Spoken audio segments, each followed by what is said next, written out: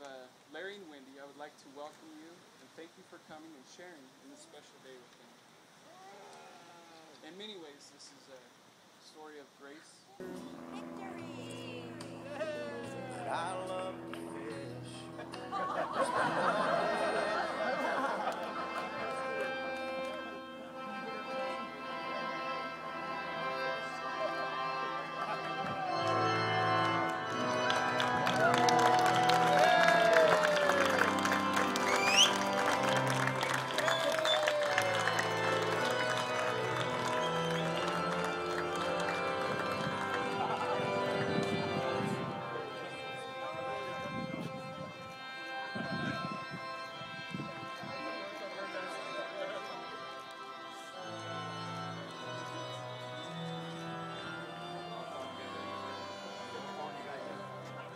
Here.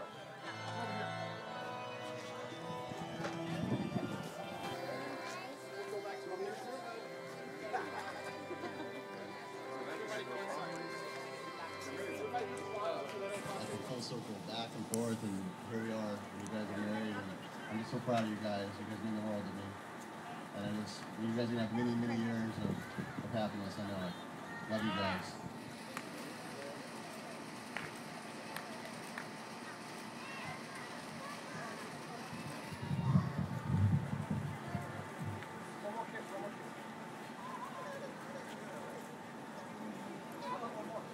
Wait, that note's for later.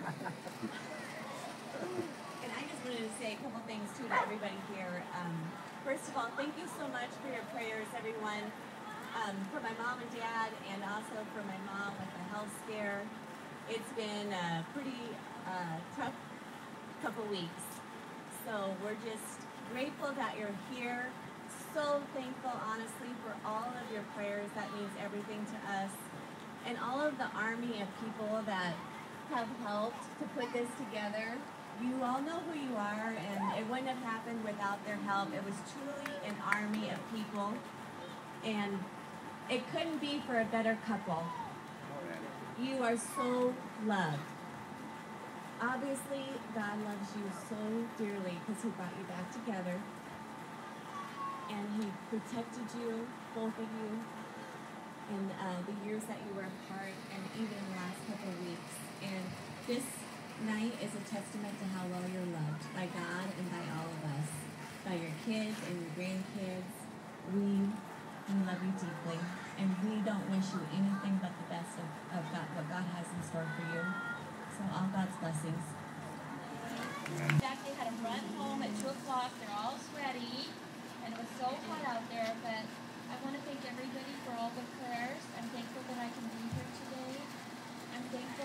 God was watching over me, and I'm glad that Larry and I are back together again.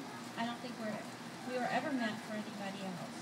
We truly do love each other. I want to thank you for celebrating with us tonight because this makes the night special. So I hope you got your dancing shoes. And thank you, everybody, for coming. And thank you all. I can't even name all the number of people that have pulled this together. Thank you.